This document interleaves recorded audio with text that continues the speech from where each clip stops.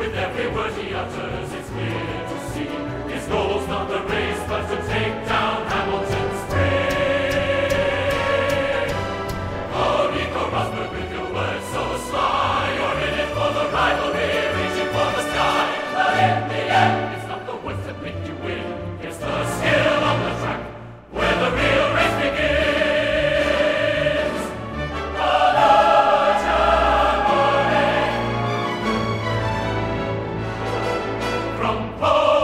to the final lap. Nico's commentary doesn't hold back.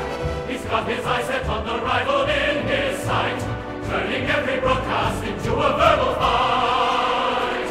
Oh, Nico Rosberg, with your words so sly, you're in it for the rivalry, reaching for the sky. But in the end, it's not the words that make you win, it's the skill on the track.